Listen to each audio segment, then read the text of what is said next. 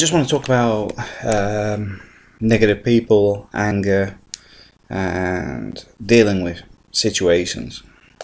Um, this last couple of days have been some that's cropped up, nothing major, but I can see where a lot of the anger is coming from. Um, there was a conversation where we'd had a discussion about something, and then somebody's basically flown out off the handle over something. But then, even if you look through the Facebook profile, you can see things like complaining over um, shopping bags and random small stuff. The fact is, this stuff doesn't matter, and yet I find a lot of people get angry over things um, which normally have a relevance to something else. Uh, for example, you might get somebody that's had a bad day. They, you know, they got up late for work, missed their train, got caught in the rain. The day's just gone wrong totally. They get home and they take it out on their kids. You know, they're angry. Um, they've gone for a soft target, and that happens a lot with stuff. Um, it's a bit like when you call a call center, you just want to get something solved because um, you haven't got all day, you got other stuff going on. You've had problems like, for example, it's in your lunch break, so you've got to eat lunch, and you know when you call them and they've got you in a queue for half an hour, you're wasting your lunch time and getting irritated. Fact is, you knew you weren't going to fit that call into the lunchtime, so shouldn't have bothered. Or so shouldn't have tried. Um, but also, from the get off, you are already irritated, which makes you angry on the phone. Um, now, living in the Philippines, you become aware of how company owners cut themselves off from sales um, of customer returns, of customer complaints, because they tell staff, you don't give them nothing back, don't do this, don't do that, and then they shove the staff out there and they hide, or you know the owners do not engage with customers.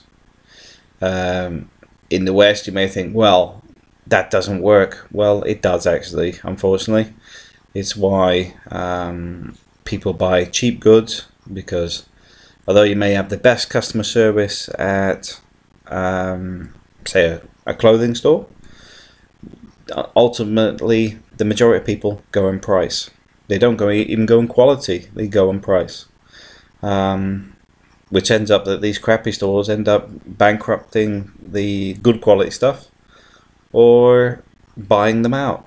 It's a bit like Fiat. You know, they don't produce great cars, but how many uh, car companies do they own? because they produce the cheap nonsense that people buy, and then at the same time, they can invest in buying other companies up. It's just the way the market is. So, when you get on those phones, be aware you ain't going to get a good result out of it, or you're going to be waiting an hour. Because at the end of the day, that is how these calls go. It Doesn't mean you have to stick with them. I mean, what I do um, was an example recently. Uh, for example, I had a rather expensive shirt, and when it arrived, because uh, I ordered it online for the first time, I normally do it in store, um, but there was a watermark on the um, chest area. Um, I just emailed them and say, look, I'm not happy with the fact that this shirt has cost X and it's shop soiled. You know, I'm not, you know, I don't expect this from your company because I buy from you because of the quality. Um, didn't ask them for a refund. Didn't start arguing with them, shouting, swearing, or anything else. Basically, just went for I expect better. And what happens? They asked me if I wanted to go in and return it, but I was flying out of Spain. Um, so instead, they've sent me a ten pound voucher as a thank you, you know, for uh, dealing with it because the shirt just needed washing. But my whole point was I shouldn't have had a stain on a brand new shirt. Um, and I had a better result. Now, do you think I would have got the same result if I shouted and swear, swore at them? I don't think so.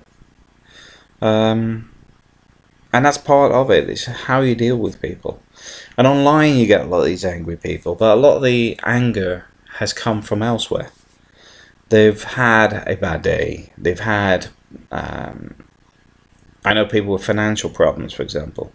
It sits in the back of their mind. They, they're uneasy when they're sleeping. They're uneasy um, throughout the day. They're worried about bailiffs knocking the door. So they're causing stress to themselves. At the same time, they take it out on everything else. They will still go and buy because buying means you don't have to deal with your problems. You feel better for five minutes.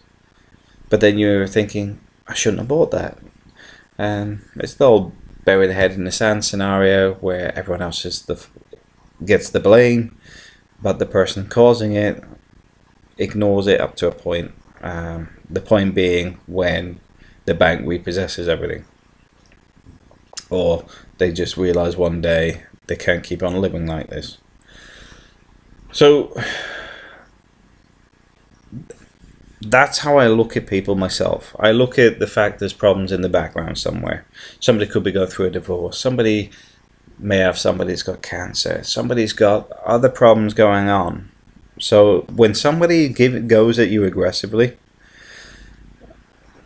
repel it in a uh, neutral way.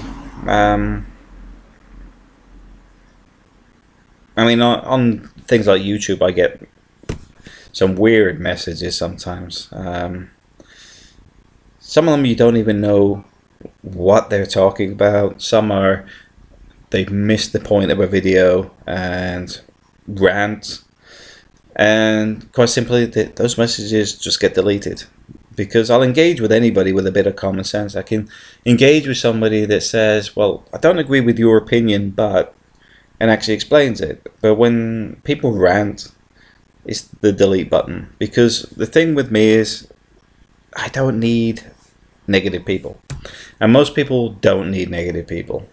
They may be stuck with them sometimes at work, or in the type of job you're doing, or uh, maybe a relative even but the fact is, you can limit the amount of negativity around you. Um, I enjoy sharing stuff on YouTube, which is why I do it. Um, there's people having positive out, outputs from watching my videos, which is what it's all about.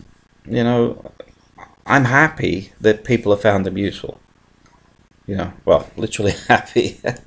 um, but the, the fact is, you need to look at the negativity in your life? Is some of it getting you down? Is some of it um, you can cut out? Are you causing negativity? Is there something that's bugging you that you need to fix? Um, I mean, the funniest, funniest one uh, today was somebody says I act as if I'm Mr. Perfect. At no point have I said I'm perfect. You know, all I'm talking about is the stuff I do. It doesn't mean I have the answer to everything. But I'll be honest with you, I'm having a better life than a lot of other people out there. Um, and it's not come from luck, it's come from hard work. It's come from effort, it comes from calculated uh, risks.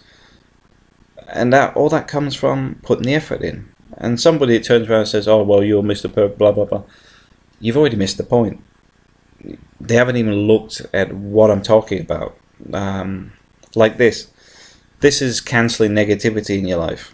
Because if you've got less negativity affecting you, be it that you've got money stresses or be it that your boss is a nightmare or whatever it is, if you look to limit it, then you will find life is much easier.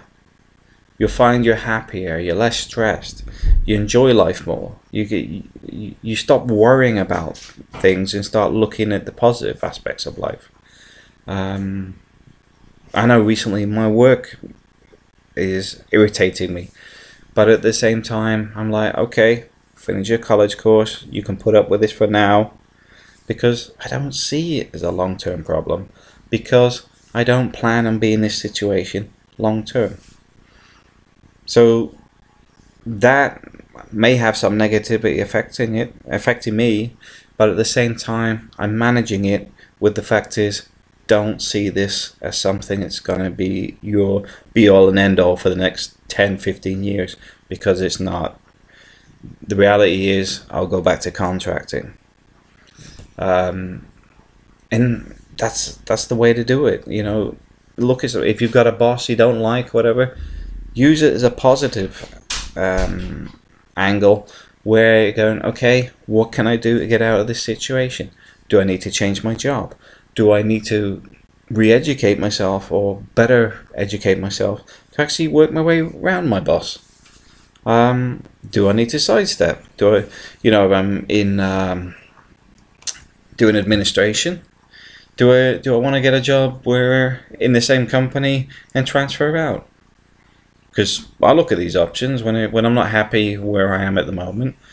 I look at the alternatives. I do asset management at the moment and asset integrity and asset integrity frameworks and all this stuff. But I could actually go, okay, I can't get up this way, but I could do project management. Um, I could do data analysis. Different divisions, same company. There is always a way to move things forward.